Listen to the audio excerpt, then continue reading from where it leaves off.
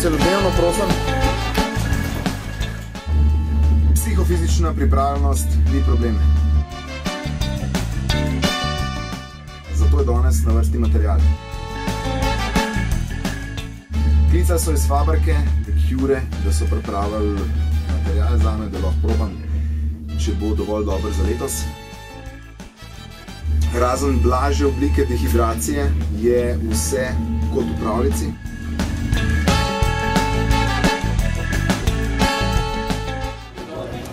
Rekli so mi, da pridem eh, sem na plažo, Krvaško. Aha, tamle so ene zastave, po mojem, da so tam. Kdo je tukaj, Jure? O, Joco. Živijo. Joco. Um, Čakaj, muče. Devet tih stari, zate. Se tam pokaže. Odlično.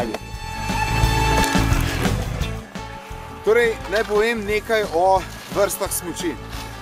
V rokah držim uh, ro, Rosin, Rosinol, pač neko, uh, neko firmo smuči, bistveno je model.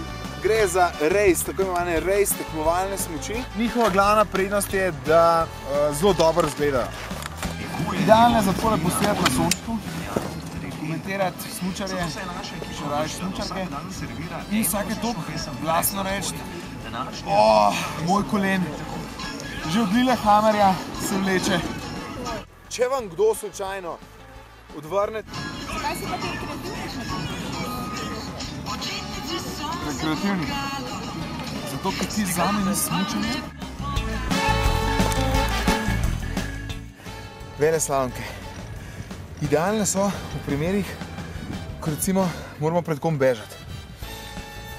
Ni nujno, da bežimo v pravem pomenu besede. Eh, lahko samo nam je recimo nerodno, ko smo celo leto se hvalili v službi, koliko super, da smučamo, pa nas pa sodelavci zove, pa pojmo enkrat skupaj, da boš malo pokazal. In se prvič pelemo gor in nam je malo naroden. Najbolj pomemben je, da se v takih primerih uh, že na žičenci dobro zapnete. Prav tako nadanete rokavice, da ni pol nepotrebnega čakanja, ker vsi malo čakajo, ko pridejo na vrh eh, sedežnice. Vsi se neki zapenajo, pa to, vi boste pa hitrejši, ker boste že zapeti, in drugo, ker imate vele slalomke, boste lahko pičili tako hiter, da vas noben ne bo ujel. Takole, tik pod vrhom smo že vse pripravljeni zapeti in se bomo samo mi in svojih frendov takole lepo, gladko spustili in se samo zadrli. Se vidimo dol! se vidimo!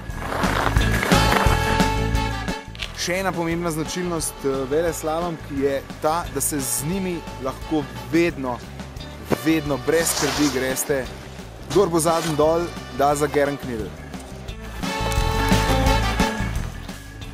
Naslednje so All Mountain smuči.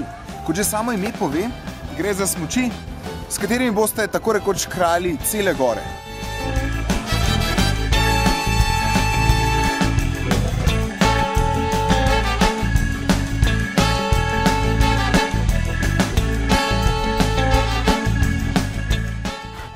Točno tako kot proizvajalec obljublja. Odlično sem se počutil prav na vseh delih gore.